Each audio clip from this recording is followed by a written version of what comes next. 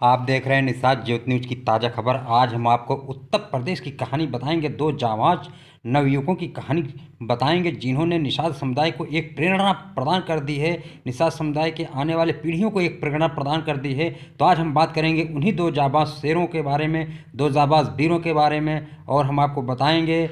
निषाद ज्योति news के माध्यम से हमने ये खबर तैयार की है।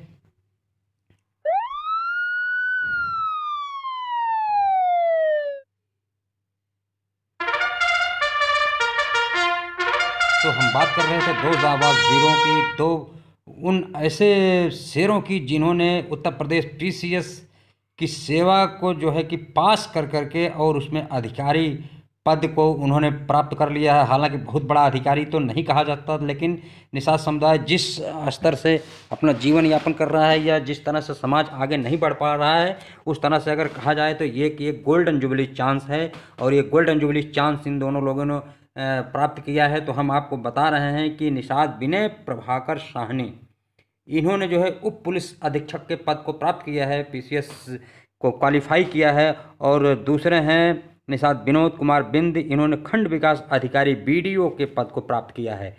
तो इन दोनों महान वीरों ने, महान तपस्वियों ने बहुत बड़ी तपस्या की है इस पद को पाने के लिए।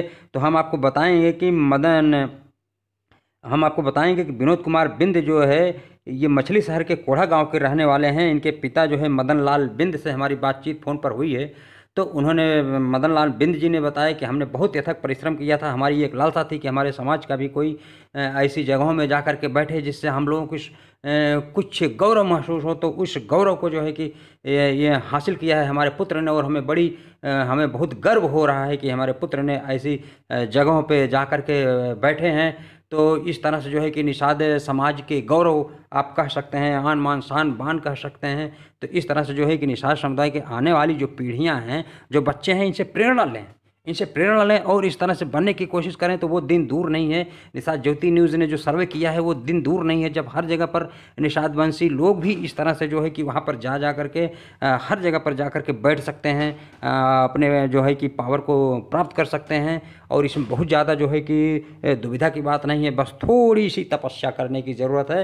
अगर थोड़ी सी तपस्या निषाद वंशी समुदाय के बच्चे करें, आने वाली पीढ़ियों के लोग करें और अभिभावक भी अगर उसमें साथ दें तो वो दिन दूर नहीं जब निषाद समुदाय अपने सपनों को साकार कर सकता है। हर जगह अपना जिलाधिकारी उप जिलाधिकारी ऐसी जगहों पर जो है कि कलेक्टर आदि जो है कि बना सकता है। निषाद समुदाय भी अपने बच्चों को और अपनी गौरव गाथा को गा सकता है। निषाद ज्योति न्यूज़ का सर्वे, ये बिल्कुल ही, बिल्कुल एकदम सही तरीके से किया गया सर्वे है। तो आप यहाँ पर अब हम बहुत बता चुके हैं आप लोगों को। अब हम यहाँ पर बताएँगे, विनय प्रभाकर साहनी जी से हमारी बातचीत अभी तक हो नहीं पाई है, लेकिन जिस दिन हमारी बातचीत होगी, मैं उनका इंटरव्यू, उनका साक्षात्कार अपने न्यूज़ चैनल पर ज़रूर आपको दिखाऊँगा, और जो है कि विनोद कुमार बिंद और विनय प्रभाकर साहनी, दोनों लोगों का मैं जो है कि चैनल दिखाऊँ, जो है दोनों लोगों का मैं साक्षात्कार दिखाऊँगा, और बात करूँगा उनसे कि उन लोगों ने किस, जो है कि तरह से कितनी बड़ी तपस्या की और किस तरह से परिश्रम किया, कितने घंटे की पढ़ाई की और क्या क्या उन्होंने ध्यान रखा इस पद को